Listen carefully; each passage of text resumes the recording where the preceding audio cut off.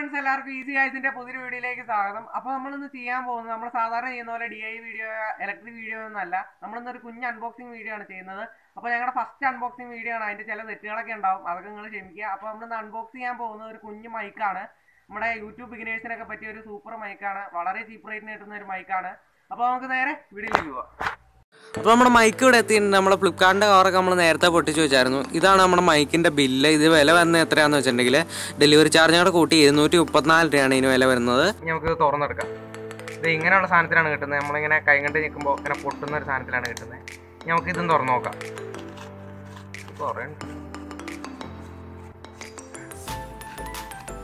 ഇത് നമ്മുടെ മൈക്ക് നമ്മുടെ കയ്യിൽ കിട്ടിയിട്ടുണ്ട്.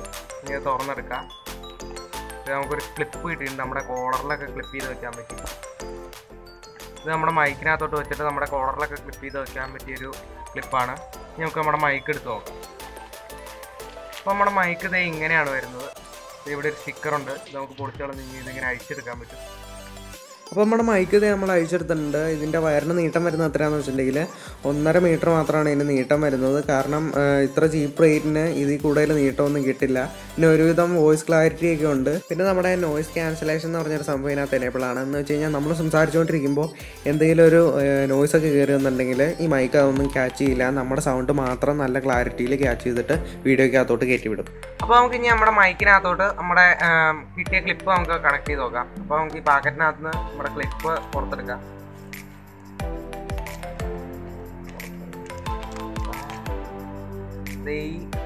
ഈ സാധനം നമ്മുടെ മൈക്കിന്റെ ദേ ഇവിടെ ഇങ്ങനെ കയറ്റി വയ്ക്കാവുന്നതാണ് കയറിയിരുന്നുണ്ട് ഇപ്പോൾ നമ്മുടെ മൈക്കിന്റെ ഈ സംഭവം എന്താണെന്ന് വെച്ചിട്ടുണ്ടെങ്കിൽ നമ്മളെന്തെങ്കിലും സംസാരിച്ചുകൊണ്ടിരിക്കുമ്പോൾ നമ്മുടെ തുപ്പലം ഒന്നും ആ മൈക്കിന്റെ ഉള്ളിൽ തെറിക്കാണ്ടിരിക്കാൻ വേണ്ടിയിട്ടുള്ള ഒരു സംഭവമാണ്.